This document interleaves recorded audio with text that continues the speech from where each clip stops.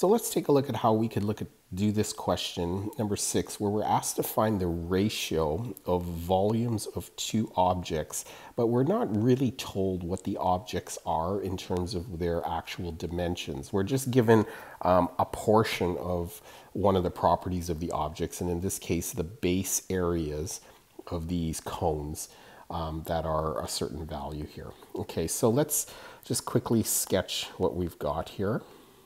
So we have two cones, okay, which are supposed to be storage containers. And the idea is that they are similar in, in size. One is smaller than the other, but, they're, but the, the rate or the proportion or the scale from the small to the large, okay, is a certain value. Okay, so these are similar um, um, shapes. Okay, so what we know is that the, we have a similar shape for the area okay, and then we have some sort of similarity for the volume. Okay, so we need to just kind of take a step back and think about what is the relationship between um, linear measurements and area and volume.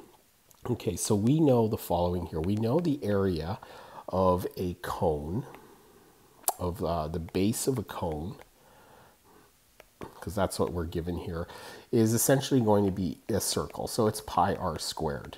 So what does that tell us? That tells us that area is proportional to the square of the radius. Okay, that's what that equation is telling us. Um, pi is the constant, but area grows as the square of the radius.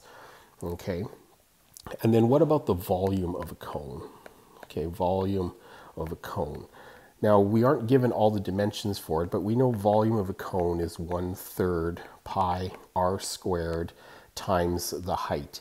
Now the height and the radius are actually connected together um, because if the radius grows by a certain amount, the height would have to grow by a certain amount. Okay, so in general, what we could say is that volume is proportional to the cube um, of the dimensions. Okay, just like the area is proportional to the square of the dimensions. In this case, we just had one variable r, so we said it's r squared. But we actually do have a cube of a dimension here. We have the r squared times h, okay, which is going to give us three dimensions. So that means we're, we're essentially having three linear um, factors, three linear measurements multiplied together. Okay, so that's related to the cube of the, those dimensions. So we could do an equation that sets it up this way. We can say the area of the large, um, base area of the large over the area of the small is equal to um, 1225 all over 900. Okay. Now we could um, reduce this down to a fraction so you can play with, take out a GCF and play with it a little bit and you should see that it comes out to 49 over 36. All right, so that is the ratio of the two objects. Now we do know a couple of things here. We know area is proportional to the radius squared. So we could rewrite this equation.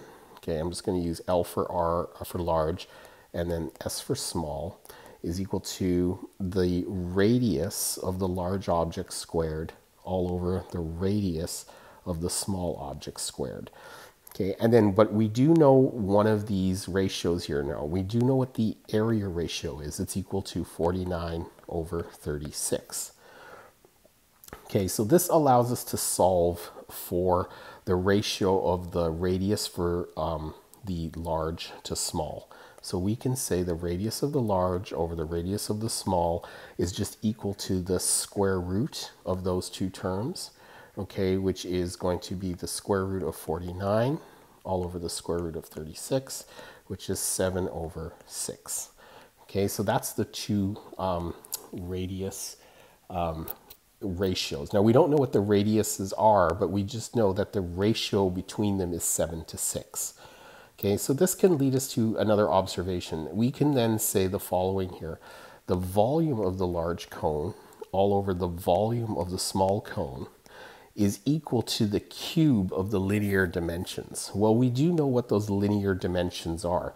We don't know h, but we do know that the ratio of r, the radius is the large radius and the small radius, So we can say that it is equal to the radius of the large all over the radius of the small. But remember, we don't know what the exact number is, but we know it's it varies by the cube of those dimensions. So we can say that we take those and then we would cube that. So now we, we can just plug our ratio in, 7 over 6, take the cube to the cube that, um, and you will get 7 times 7 times 7, which is 343, all over 6 times 6 times 6, which is 216. So that is the ratio of the volumes. It is 343 to 216. Now again, it's interesting because we haven't solved for any of the dimensions of these objects, but what we do know by this property that area varies as the proportion to r squared. Okay, that allowed us to find what the ratio of r would be. And then we do know that volume is the cube of dimensions. Okay, so therefore, if we cube that ratio, that will allow us to calculate what the volume of the ratios for the large to small or small to large, depending on, on how you want to put it together. Okay, so the final answer for this question is just going to be a fraction. Okay, um, if we're doing large to small, it'll be 343 over 216.